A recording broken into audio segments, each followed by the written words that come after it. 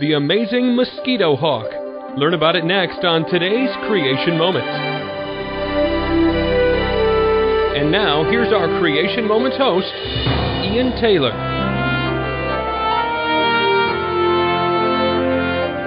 Flight is a big problem for those who believe that we owe our existence to evolution.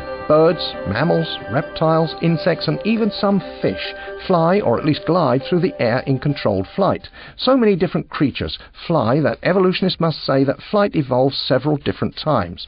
The dragonfly is among the best flyers in the animal kingdom. The dragonfly can beat its four wings in unison or separately depending upon the maneuver it wants to make. They can fly at speeds of up to 25 miles an hour or even faster. It can hover, take off backwards, and even make unbanked turns. The dragonfly eats small insects, including mosquitoes, earning it the nickname mosquito hawk. A dragonfly can see a gnat from three feet away, fly to it, capture, and return to its original position in little more than a second. One third to one half of its body mass is made up of flight muscles.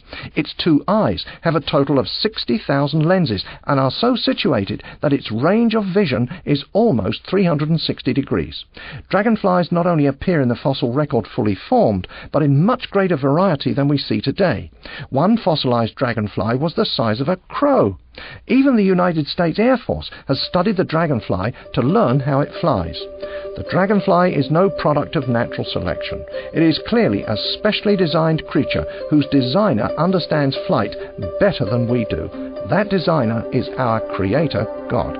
To get a complete set of transcripts from Creation Moments programs, ask about the book Letting God Create Your Day when you visit us online at creationmoments.com. And join us again for another Creation Moment, proclaiming evidence of God's truth.